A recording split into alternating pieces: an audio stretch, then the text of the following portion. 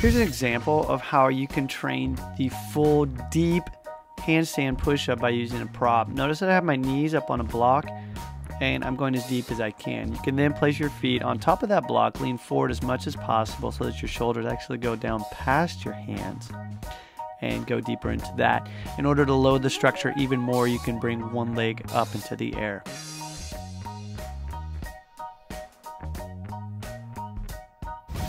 The full deep handstand push up is no joke. I suggest first working on this using props, but once you're ready, I would then go into a straddle handstand and go from there.